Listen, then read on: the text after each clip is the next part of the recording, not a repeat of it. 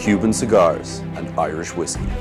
Two distant worlds, both steeped in history, blended together. The finest single pot still Irish whiskey, matured in cabinets of the finest Cuban cigars.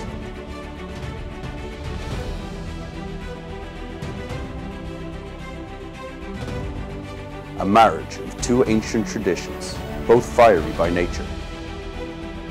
Tobacco and barley. We've captured the soul of two nations in a glass.